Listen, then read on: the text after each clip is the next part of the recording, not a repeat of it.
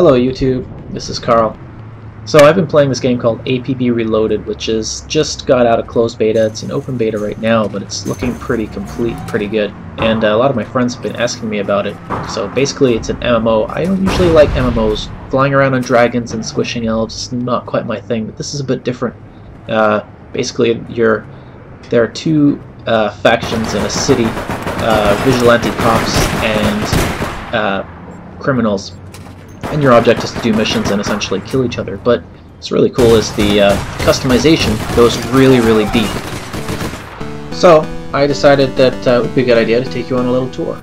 So let's start in the social district. Uh, this is where people can customize themselves, and as you can see, this guy here, he just uh, put on some music at a turntable setup.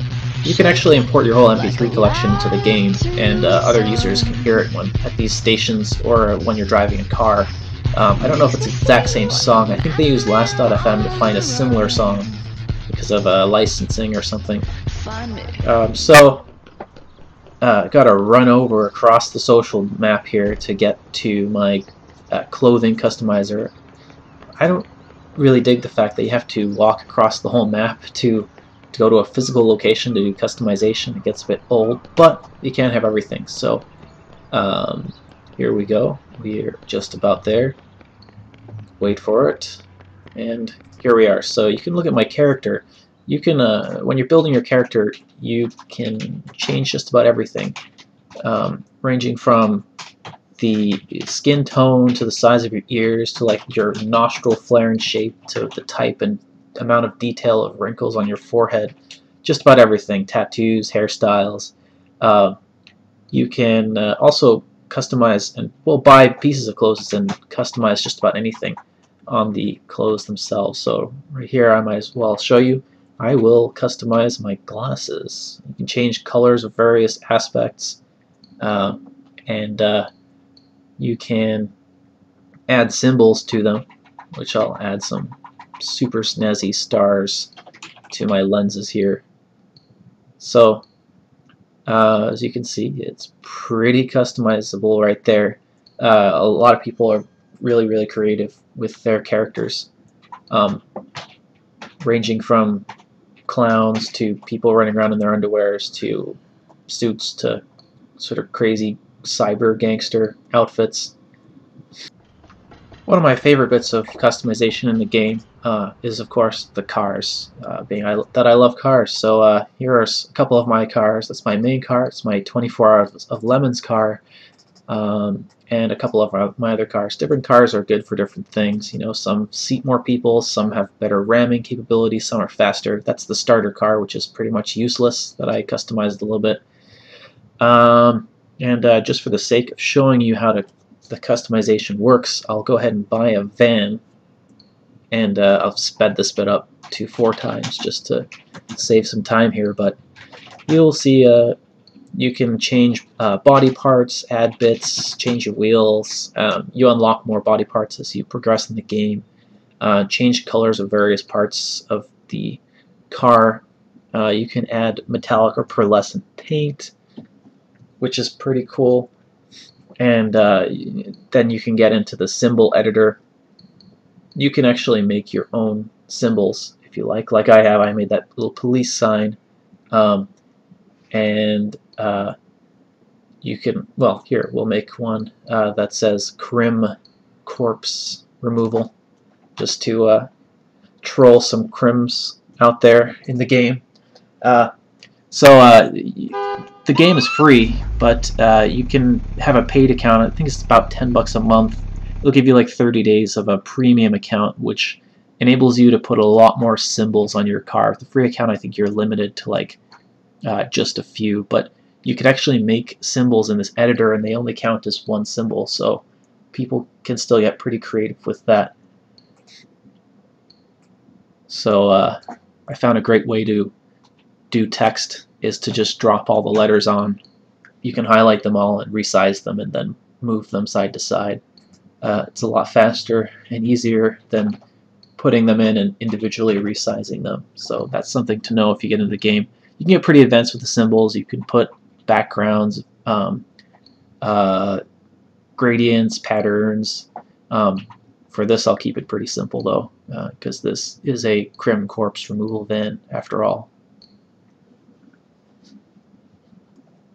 Another great thing to uh, customize is music. Yes, this game has a full-fledged MIDI sequencer in it and a whole bunch of drum kits. Maybe that's your type of thing, eh? That's, that's my song. Drum kits, uh, soft synths, etc. And uh, you can make a full-fledged song, but you can also make what's called a death theme, which is when you kill a player on the other side or you win a mission. Um, that's exactly what they hear. So a lot of people make uh, Rick Astley, for instance, or various songs. I, this one was one I just banged up myself, so uh, I hope the criminals enjoy it. So now I've just uh, spawned in one of the action districts. There's two. Uh, this one is the financial district where I'm currently working my contact. So uh, just pledge to him. Uh, you can do a lot of stuff at the contacts where you kind of do your inventory. Um, so okay. as you can see, my weapons. I have a weapon that's uh, slotted. It has some uh, sort of power-ups. There's my character. I have a couple of character customizations in there that allow me to like ram doors quicker and have a Kevlar vest. And uh, you can change your car and stuff too. You can get slotted cars uh, and improve their speed, ramming, etc. The current one that I have doesn't have any slots, but it's pretty fast. And there it is. So again, this is actually from my MP3 collection. This is a band called Cobalt, and uh, I'm playing it for the game. It's pretty nice. Who says you need a dragon to fly?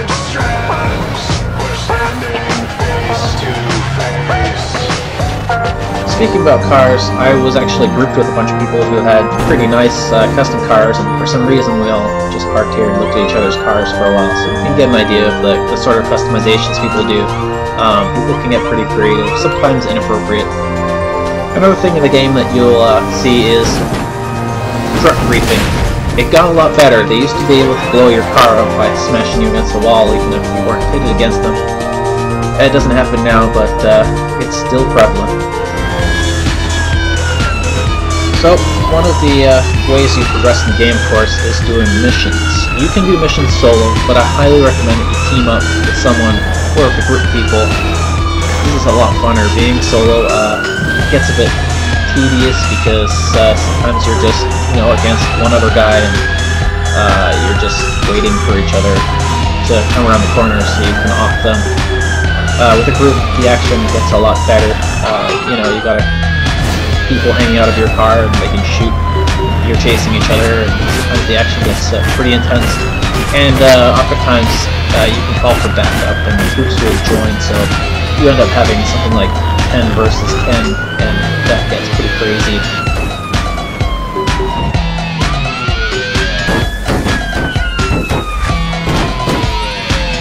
That guy uh, doesn't trust my driving for some reason.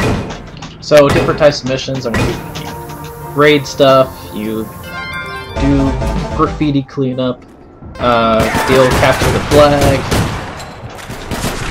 and uh, more raiding type of things, and then uh, you know bringing packages to destinations.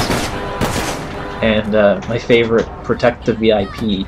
Uh, that's a lot of fun when you are in the car with a VIP or someone who has a really important package, the car slows down a lot. A lot of people don't like that. It's a new feature, but I sort of do because it makes it more fun. It actually makes the people chasing you able to catch up. There's a bit more action. Uh, otherwise, you spend the whole game just sort of driving around the map, and uh, that also gets a bit boring.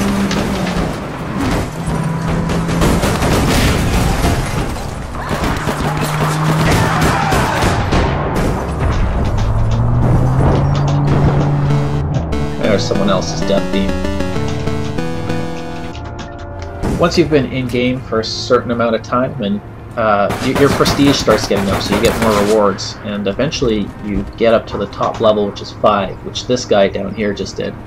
Um, and uh, at that point, it's actually you against the entire map. You actually show up on everyone's map, and anyone on the map can kill you. You can kill them, which is great, because you know you can get a lot of points and rewards that way.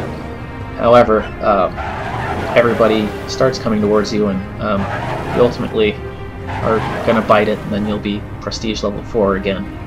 It gets a lot of um, to be a lot of fun.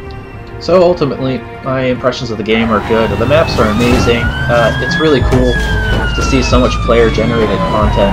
Uh, I mean, it really ensures you're going to get a different experience every time, seeing different designs, different characters, interacting with different people, hearing different sounds.